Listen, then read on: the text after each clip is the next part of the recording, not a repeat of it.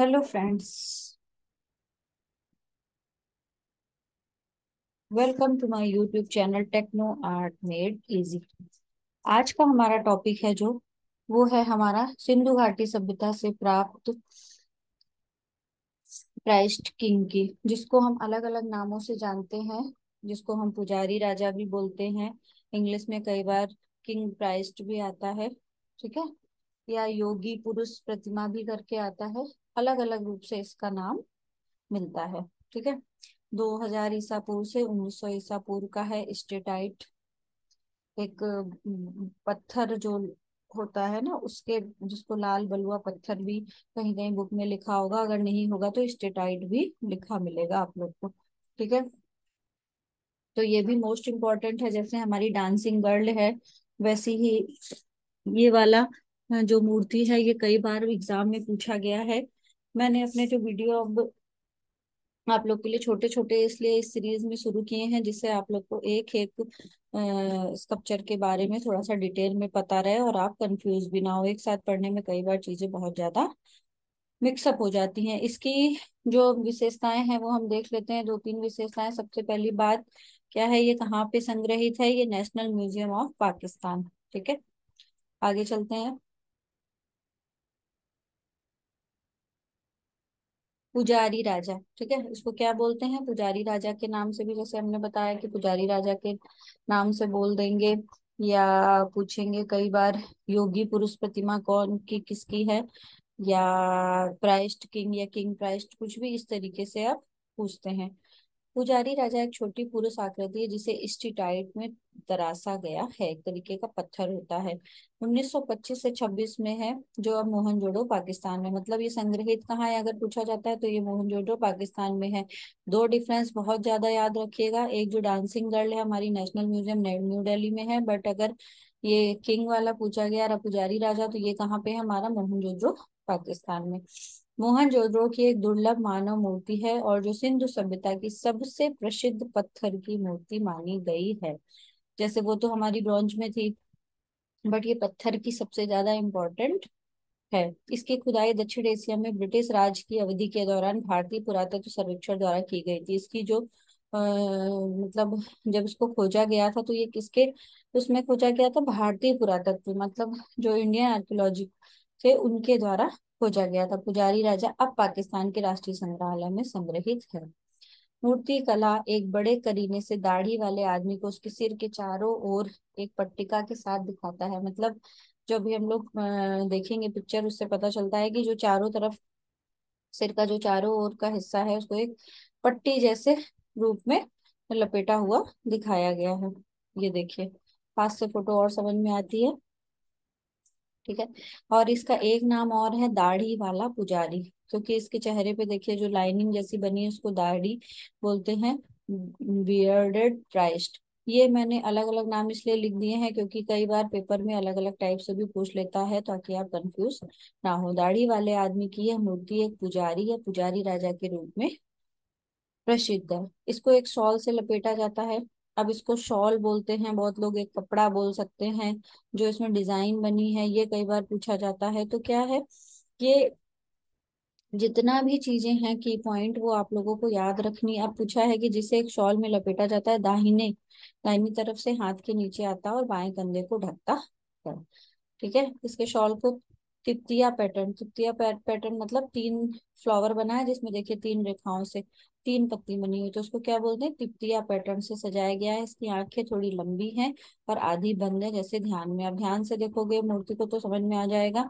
नाक थोड़ी खंडित हो गई है। आँखें जो है वो कितनी लंबाई में बनी है और पतली पतली जो आधी खुली है जैसे ध्यान मुद्रा में। तो फ़ोटो देख के आपको समझ में आ गया होगा बहुत सारी चीज़ें। नेक्स्ट है नाक अच्छी तरह से बनती और मध्यम आकार की होती है। मुँह औसत आकार का है, जिसमें कट कट मूछें और छोटी दाढ़ी और मूछे हैं। मतलब जब हम इसको ध्यान से देखेंगे इस पिक्चर को तो इसमें क्या है? लाइनिंग दी गई है, जो दाढ़ी के रूप में इसकी लाइनिंग बनाई गई है और हल्की हल्की मूछें हैं। कान के बीच में क्या है? इसके एक छेद है। छेद के साथ डबल गोले जैसा दिखता है। बालों को बीच में बांटा गया है। ये देखिए पास से फ़ोटो को देखिए, बालों को बीच से बांटा गया है, एक सादा बुना हुआ पट्टी का सिर के चारों घुमाया गया है। जैसे सादा बना हुआ है ना, सिर के चारों तरफ़ पट्टी जैसा लगा और देखिए पीछे से बंद है, इसीलिए आगे की भी फ़ोटो मैंने लगाई है पीछे की भी। एक बाजू बंद दाहिने हाथ में पहना जाता है, देखिए दाहिने हाथ में आपको बाजूबंद भी दिख जाएगा और गर्दन के चारों ओर छेद एक हार का संकेत देते हैं दाढ़ी वाले पुजारी के।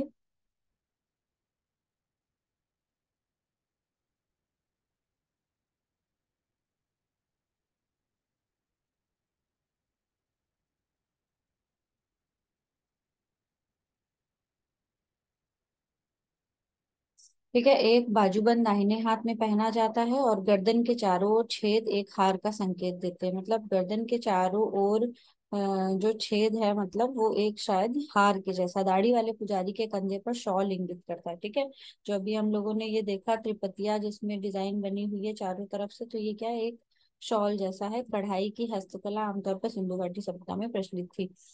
ठीक है तो जो चीज़ें मिली हैं मूर्तियों में पात्रों में, उसके आधार पे ही हम वहाँ की जीवन शैली उनकी दिनचर्या और उन सब का अनुमान लगा लेते हैं, उनकी कला का अनुमान लगा लेते हैं। जैसे कि हम लोगों ने अब इस इस फ़ोटो को देखा, इस मूर्ति को देखा, सपोज़। अब हमने देखा कि ये शॉल डाले हुए, शॉल में डिज़ाइन भी है तो संभवतः ये अनुमान लगाया जाता है कि उस समय हस्तकला भी, यानी कढ़ाई की जाती थी हाथ से, और हस्तकला भी सिंधु घाटा में प्रचलित थी।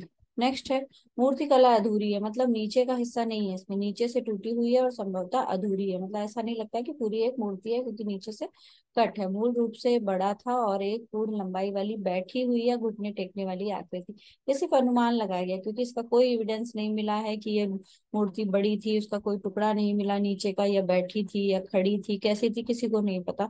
तो ये क्या अनुमान लगाया गया कि मूल रूप से ये बड़ा था और संभवतः एक पूर्ण लंबाई वाली बैठी हुई या घुटने टेकने वाली आकृति थी, ठीक है? घुटने टेक के जो बैठते हैं वैसी आकृति थी, या तो पूर्ण रूप से लंबी एक बैठी हुई आकृति थी जैसा कि अभी है, ठीक है? यह 17.5 सेंटीमीटर और 6.9 इंच ऊँची है। इसके लिए भी अलग अलग बुक्स में हो सकता है, एक दो पॉइंट इधर उधर मिल जाएँ, क्योंकि इसके लिए मैंने आपको पहले भी कई बार बताया हुआ है, बुक्स में थोड़ा बहुत डिफरेंस दे दिया गया है। इसकी एक प्रतिकृति है ये जो लेफ़्ट हैंड साइड में आप देखोगे ओरिजिनल है और जो दूसरी है बड़ी सी, ये एक इसकी प्रतिकृति है। ये कहाँ पे है? मोहनजोदड़ो साइड के प्रवेश द्वार पर खड़ी की गई है। अब देख लेते हैं कि भारतीय पुरातत्व वेदाओं ने इसकी खोज करी थी। तो ये भारत में होनी चाहिए बट ये पाकिस्तान में कैसे पहुँच गई? तो यह प्रतिमा पाकिस्तान और भारत के बीच 1972 के शिमला समझौते के बाद ही पाकिस्तान को लौटा दी गई थी। मतलब 1972 का जो शिमला एक समझौता हुआ था, उसके बाद ये इसको लौटा दी गई थी पाकिस्तान में, ठीक है? तो जिसका प्रतिनिधित्व उनके सरकार के प्रमुखों, क्रमशः पाकिस्तान के राष्ट्रपति जुल्फिकार अली भुट्टो और भारत के प्रधानमंत्री इंदिरा गांधी द्वारा किया गया था। अगर आपसे कभी इनकेस ऐसा क्वेश्चन घुमा के पूछा जाता है तो आपको पता होना चाहिए 1972 के जो शिमला समझौता हुआ था, उस टाइम ये मूर्ति कहाँ पाकिस्तान को सौंप दी गई थी। ठीक है? एक पाकिस्तानी पुरातत्वविद के अनुसार गांधी ने पुजारी, राजा और दूसरी सबसे प्रतिष्ठित सिंधु मूर्तिकला डांसिंग गर्ल, एक छोटी कांस्य मूर्ति जो मोहनजोदड़ो में भी मिली, दोनों को वापस करने से इनकार कर दिया था और भुट्टो से कहा था कि वह इनमें से केवल एक को चुन सकते हैं। ठीक है? तो ये अलग अलग मत हैं। तब ये हुआ था कि इन दोनों में से कोई एक मूर्ति ले सकते हैं तो शायद उन्होंने ये प्राइस्ट किंग वाली ले ली होगी और डांसिंग गर्ल हमारे पास आ गई थी। तो क्योंकि जब हमारा विभाजन हुआ तो आप लोग को पता ही है ये सारी चीज़ें, क्योंकि बहुत सारा एरिया हमारा पाकिस्तान में चला गया। तो इस तरीके से बहुत से समझौते हुए होंगे, जिसके बाद की उसी में से ये जो पुजारी राजा की मूर्ति है, वो पाकिस्तान को दे दी गई। तो इतना हमारे लिए की पॉइंट देखना बस इम्पोर्टेंट है। इसके लिए बहुत ज़्यादा परेशान होने की ज़रूरत नहीं है, क्योंकि मैंने बताया कि अगर आपको डिटेल में कहीं लिखना है आंसर तो आपके लिए इतना इन्फॉर्मेशन बहुत है। और अगर आपको ऑब्जेक्टिव के लिए पढ़ना है तो आई थिंक इससे अगर आप नोट्स बना रहे हो तो आपके लिए नोट्स के लिए ये सफिशियंट नोट्स हैं। आपको पता होना चाहिए किस पत्थर से बनी है स्टिटाइट पत्थर से बनी है, कहाँ पे संग्रहित है। पाकिस्तान में संग्रहित है। अगर भारत के द्वारा पाकिस्तान को कब दे दी गई थी? 1972 के शिमला समझौते में दे दी गई थी। तो ये सारी चीज़ें इसमें ऑलरेडी क्लियर कर दी गई हैं। चेहरा कैसा है? नाक कैसी है? पूरी मूर्ति है कि नहीं? मूर्ति की लंबाई कितनी है? ये सारी चीज़ें ऑलरेडी मैंने इसमें क्लियर कर दी है। जो बच्चे डिटेल में पढ़ते हैं या बी एफ़ एम वाले अपने पढ़ते हैं या बीए वाले पढ़ते हैं, उनके लिए ये थ्योरी के लिए बहुत अच्छे पॉइंट है, जो कि मैंने इसमें पूरे दे दिए हैं। इसके अलावा भी आपका कोई क्वेश्चन हो, अगर कोई कंफ्यूजन है तो आप उसको कमेंट्स करके पूछ सकते हो। मैं इसीलिए हर फ़ोटो लगा देती हूँ ताकि आप साथ साथ पढ़ने के साथ साथ साथ में ही उसको देखते रहो और उससे मैच करके आपको आसानी से आपके दिमाग में छप जाता है कि हाँ ये मूर्ति में ऐसे ऐसे था।